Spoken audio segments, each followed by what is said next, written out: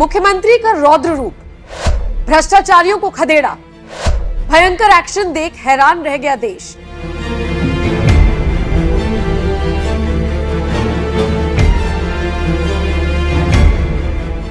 नमस्कार, किसी भी प्रदेश को अगर विकास की राह पर आगे बढ़ाना है तो भ्रष्टाचार को खत्म करना होगा।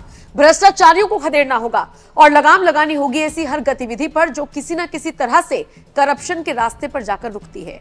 यूँ तो कई राज्यों के मुख्यमंत्री इस दिशा में कदम उठा रहे हैं, लेकिन उत्तराखंड के सीएम पुष्कर सिंह धामी इनमें दो कदम आगे बढ़ते हुए नज़र आते हैं। उत्तराखंड के सीएम पुष्कर सिंह धामी के आदेश पर अधिकारियों ने ऐसे ऐसे अभियान चलाए हुए हैं जो भ्रष्टाचार और भ्रष्टाचारियों पर चोट कर रहे हैं।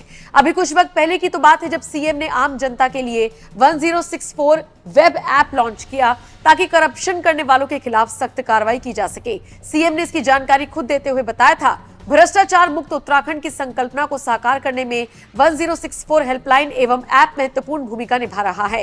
इसके माध्यम से भ्रष्टाचार से संबंधित शिकायत करने पर त्वरित एवं सख्त कार्रवाई की जा रही है, एवं शिकायतकर्ता की पहचान भी गुप्त रखी जा रही है। हमारी सरकार उत्तराखंड को भ्रष्टाचार मुक्त बनाने के लिए दृढ़ संकल्पित है। इसी के साथ विजिलेंस में 103 नए पदों को तैयार किया गया ताकि प्रभावी तौर पर व्यवस्था को और बेहतर बनाया जा सके। धामी सरकार ने अब तक राज्य में कौन कौन से कदम उठाए हैं? प्रदेश में भ्रष्टाचार को रोकने के लिए जो फ़ायदेमंद साबित हो रहे हैं, जरा जान लीजिए। भ्रष्टाचार रोकने के लिए उठाए गए कदम।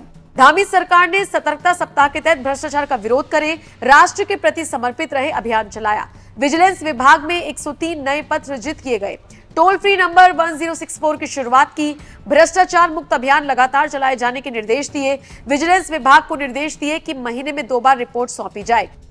जो भी कदम धामी सरकार से बन पड़ रहे हैं, वो कर रहे हैं, ताकि भ्रष्टाचार मुक्त उत्तराखंड बनाया जाए और दूसरे राज्यों के लिए मिसाल पेश की जाए। आपको सीएम धामी के काम करने का ये तरीका कैसा लगा? कमेंट करके अपनी राय हमें ज़रूर दें।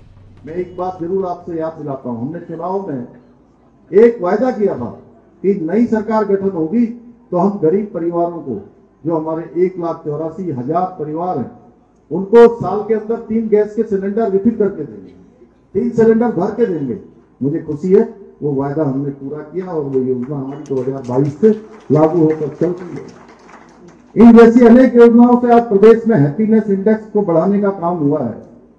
भाइयों, बहनों, भाजपा की सरकार, उत्तराखंड के अंदर, देश का सर्वश्रेष्ठ राज्य बनाने के लिए, श्रेष्ठ राज्य बनाने के लिए, आदर्श राज्य बनाने के लिए लगातार काम कर रही है।